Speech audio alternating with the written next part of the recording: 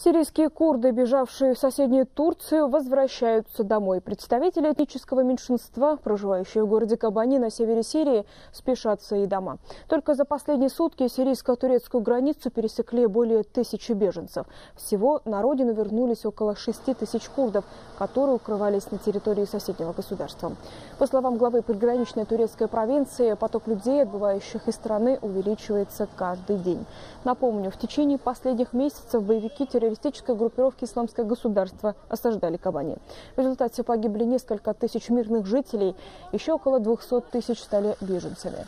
Напомню, курдским силам самообороны удалось снять блокаду Кабани, а также освободить более 200 деревень вокруг города. Боевые действия в регионе, направленные против экстремистов, продолжаются.